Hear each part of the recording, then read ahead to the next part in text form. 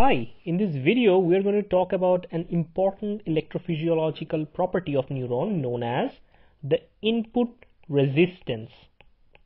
You might have heard about this term but you are not so familiar with it and you don't understand it so at the end of this video this particular term would be completely clear. So it's an intrinsic property of the neuron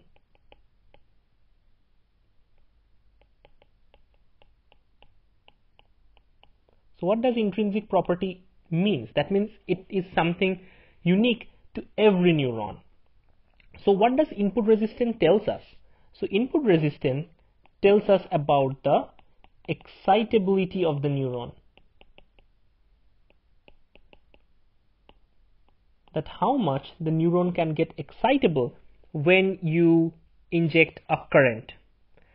So whenever we inject a current, we see if the current is actually beyond the threshold, we would see all or none phenomena, which is the action potential, right? Now, this action potential is nothing but a voltage change or delta change in the voltage. And we know from Ohm's law that voltage is proportional to current. And you can remove that and you can say V equal to IR. And in this case, it's input resistance. So it's R in so input resistance is nothing but the ratio of voltage by current. So this current, you are actually injecting this current and the voltage de deflection is basically recorded by you. And the ratio of the two is known as the input resistance. Now we very often compare a neuron to be actually a RC circuit, right? We very much compare the neuron to be an RC circuit. So here we have a capacitor component and we have a resistor component. Now whenever we inject some amount of current in this circuit, first the current is used to charge the capacitor and then it is flowing through the resistor. So let's see, let's try an experiment. So in this experiment, we are going to inject some current and we're going to look at the voltage responses. And in this particular case, we are going to inject uh, some negative current. So let's say, so we are going to inject some negative current in a stepwise fashion. And this step increment is pretty much uh, constant. And what would happen, this initial current, it's a small magnitude of current, so it would be essentially charging the capacitor. And when we stop the current, it would be discharging the capacitor so we have a increase followed by reaching a steady state and then there is a discharging phase. Then eventually the magnitude would grow and reach a plateau. So for each injected current range we are getting a voltage deflection. So we are inputting some current. For each current change we are also getting a change in the voltage and the ratio of this voltage versus current is known as input resistance. Now at a particular defined voltage or at a particularly defined input current, we can calculate the input resistance and thereby plot a graph of input resistance, right? Now the question is what does this input resistance tells us? And at a empirical level or at a molecular level, what does input resistance mean? So let's look at that. So here is a neuron.